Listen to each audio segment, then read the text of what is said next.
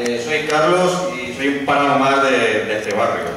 Hola, buenas. Por decir algo a los precursores de las zonas de pago, del cemento armado, de las fiestas de barrio y de las medallitas, que parece ser que es lo único que les conmueve. Y yo les digo que aunque el barrio cambie físicamente y queráis esconderlo, la pobreza y la miseria se quedan en el mismo sitio.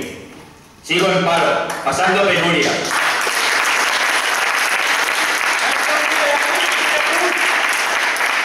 Pasando penurias. Ya no para llegar a fin de mes, sino para pasar el día a día. Me he cansado, estoy agotado.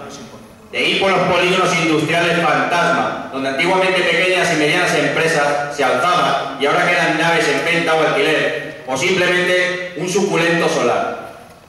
O cuando vas de visita la catadora oficina de desempleo y te encuentras con ofertas de trabajo, sí, pero en Alemania, en Noruega y alguna que otra en Laponia. Parece, parece ser esta, esta es la línea de trabajo que llevan las asistentes sociales, como, esto textualmente, ¿eh? que me dijeron a mí. Aquí no hay trabajo, vete al extranjero a trabajar. Vaya respuestas de cátedra. No, ¿por qué tengo que marcharme fuera a trabajar? Y dejar a mi familia, a mis amigos, mis raíces. ¿Por qué?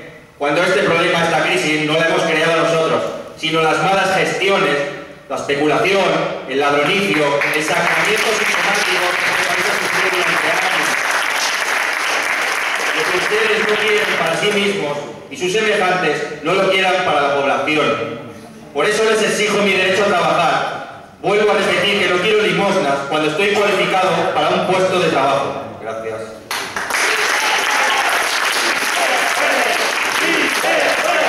Yeah.